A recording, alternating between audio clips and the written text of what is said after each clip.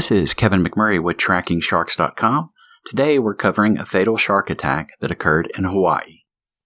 A 60 year old Washington State woman was snorkeling with her husband off Keawakepu Beach December 8th. They entered the water just before noon and were about 50 yards from shore when an aggressive shark showed up. The couple were not that close in the water, and the husband told the Department of Natural Resources that he could only see his wife every now and again. He said that as the shark circled him, he continued looking for his wife.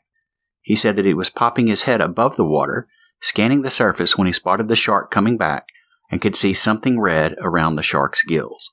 People on the beach were yelling at him to exit the water as a shark was actively feeding on something.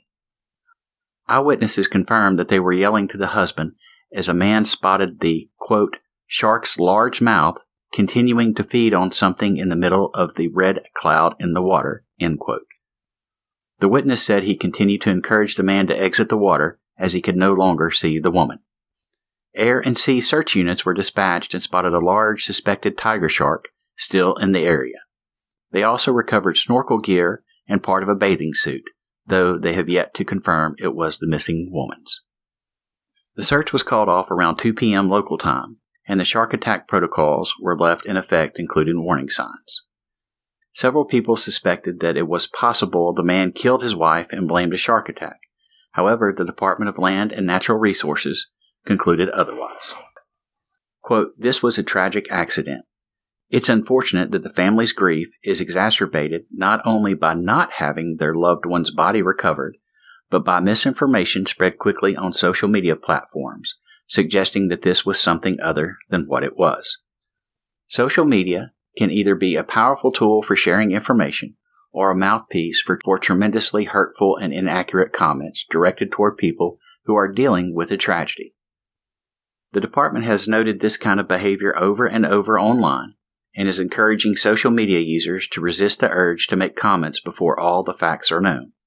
Family members and friends often see these posts Imagine if it was someone you knew and loved and how you'd feel. Five days after the fatal shark attack, another man was forced to fight off a 12 foot tiger shark. An unidentified 68 year old was swimming off Anahulo Bay in Waikoloa on the Big Island. According to police, the man was about 400 yards offshore when an estimated 12 foot tiger grabbed his lower torso. The man used his diving knife to smack the shark, which released him. Paddleboarders came to his rescue and took him back to the beach. A witness reported that the man had a good chunk of flesh missing from around his buttocks area. He was taken to the hospital before being transported to Oahu for further treatment. The majority of information I have seen states the man was swimming. However, my guess is he may have been snorkeling or possibly spearfishing, which would explain why he was carrying a knife. Hawaii has a large population of sea turtles, and occasionally you will run across one tangled in fishing line. A quick flip of the knife and the sea turtle can keep on turtling. Turtles are also a nice meal for tiger sharks. Female tigers will often come in close to shore to birth their pups in the fall months.